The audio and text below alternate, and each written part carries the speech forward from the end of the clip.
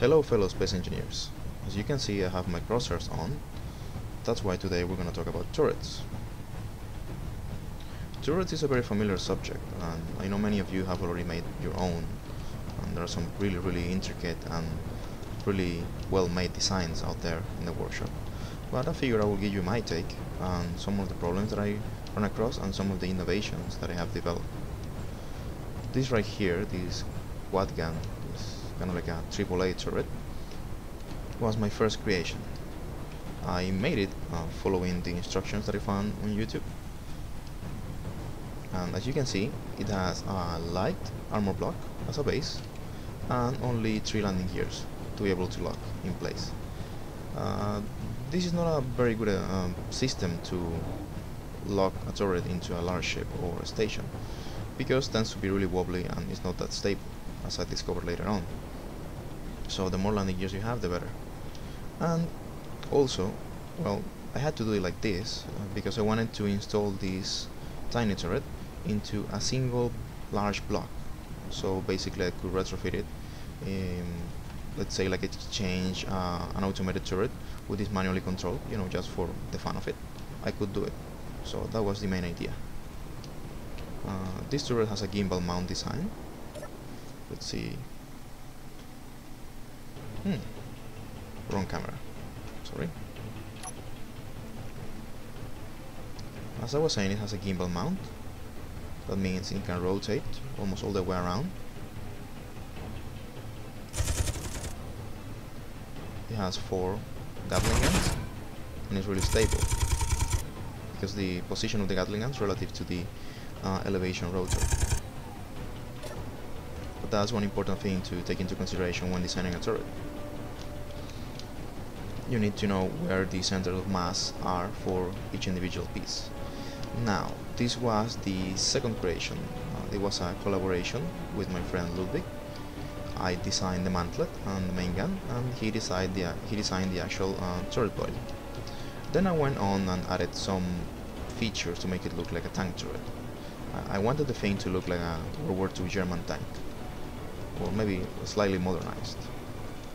So it has a loader's hatch, it has a commander's cupola, they are fully functional. You can see ammo boxes, uh, the loader's chair, and the commander. The commander can look around as if it was a tank. And now this is the gunner's position. It has like an arrow slit to fire and shoot through, I mean aim through. It also has a coaxial machine gun and the main gun, well it's not a main gun, it's just rockets. I'm hmm, having a bit of a lag here. Okay, the rockets. So, well, right now this turret is not fully functional. Let me show you why this reloading system that I designed you see there's this hole right there and that hole is supposed to be able to feed the gun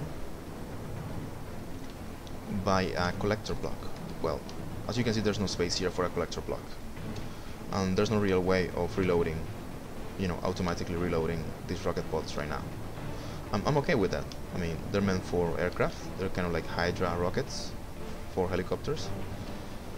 So, you know, they're manually loading. Somebody popped up in Steam. Anyway, let's continue.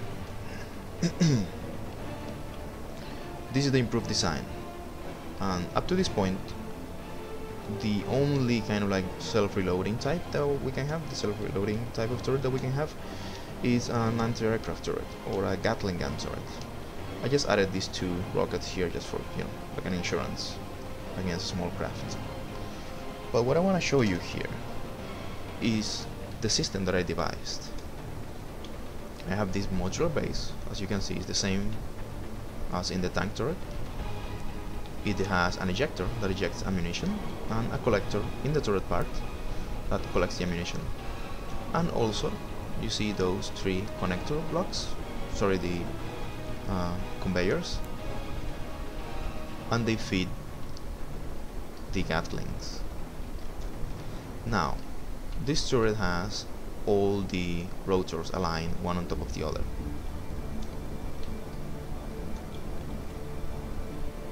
So I can have a relative, relatively good elevation and depression of the gun.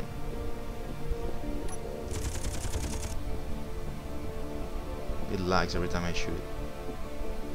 Hmm. There. Whoa. getting these horrible lag spikes. Anyway. Okay, let's move on. If it lets me. Okay. Mm, no.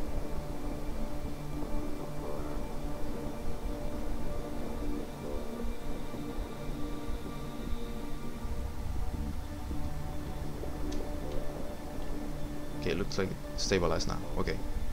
So, this is a cutaway of the modular system that are designed for big ships. Basically, what you have down here will be the interior of the ship or the space station, the ammunition compartment or the magazine. It would feed the ammo to this connector block and it would shoot it up for this big turret to collect.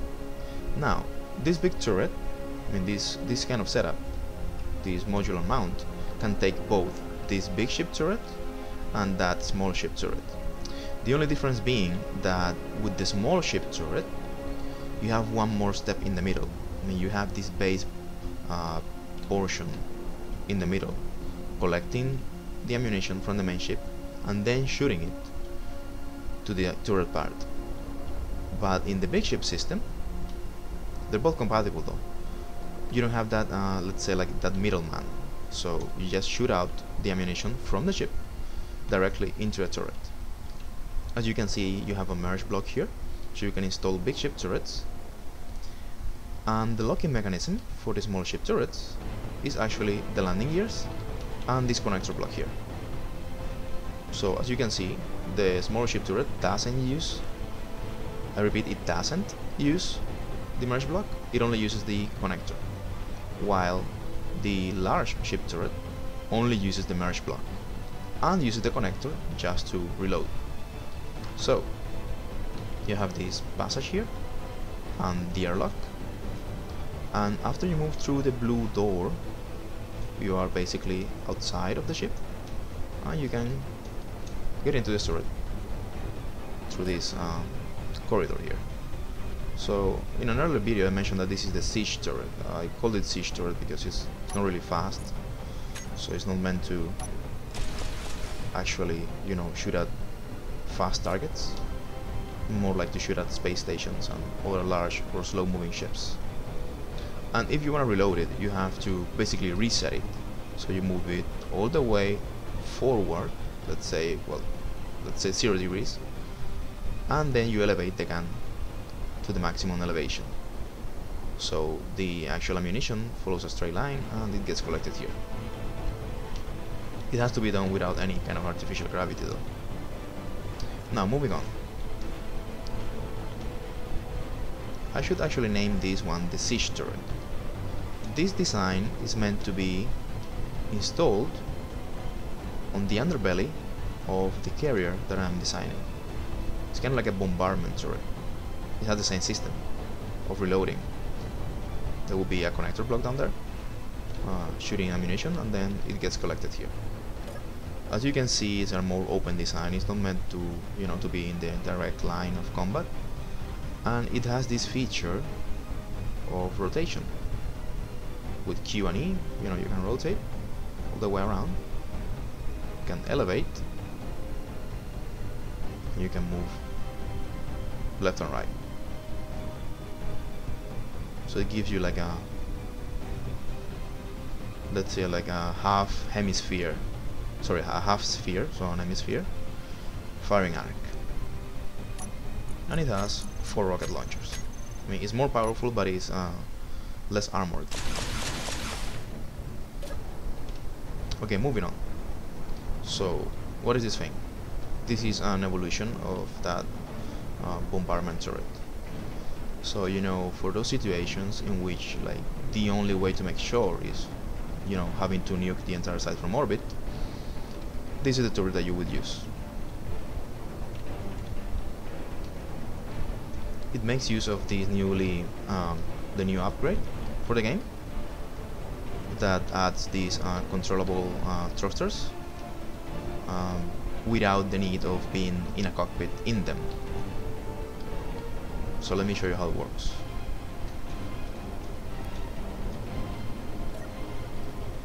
There we have the game's most famous target, the red ship. As you can see, it's very wobbly, so I'm working on it. And what you do, let's go to the external view. There, that's fine. What you do is you actually power on the torpedoes or the let's call them nukes just for the fun of it you power them on and then you release them.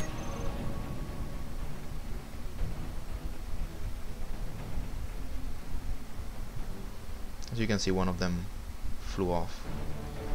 Well that's why uh, I, I, I actually decided to not to add any uh, gyroscopes to them. I did a test in which uh, actually I added some gyroscopes and the way they flew straight forward like in a straight line. But you know people say that gyroscopes are expensive and there's no really like a realistic way of making them in survival if you're just gonna waste them. So that's why I decided to make it like that. Anyway maybe in, a, in a, another video I would add some gyroscopes to show you. Either way as you can see the damage here is um, devastating. Basically took let's say like a big portion like one fourth the actual ship although functionality wise the ship is still flyable and that would lead us to our next subject that I will talk about in another video the issue of armor penetration and disabling hits for big ships. Hope you enjoyed and take care.